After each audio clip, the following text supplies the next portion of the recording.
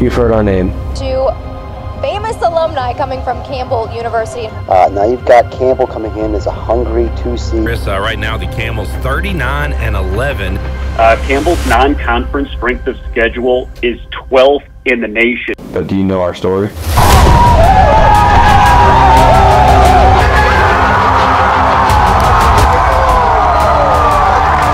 And another trophy to the Camels case.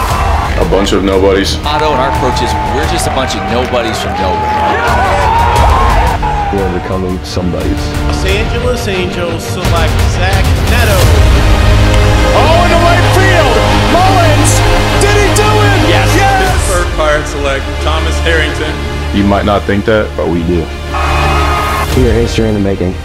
That regardless of what happens from here on out, this has been the best year in Campbell baseball history.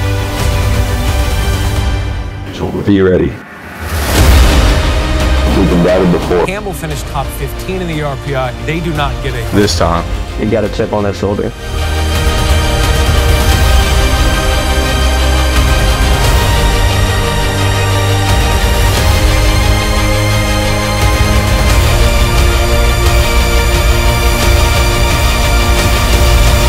Privilege, man. We want to run towards that pressure. We don't want to run from it.